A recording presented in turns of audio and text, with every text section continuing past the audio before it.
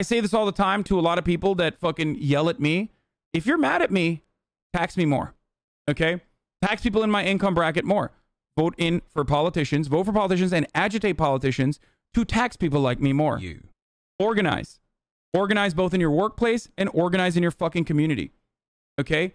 Join organizations like the DSA. Unionize. Make a fucking change in your life.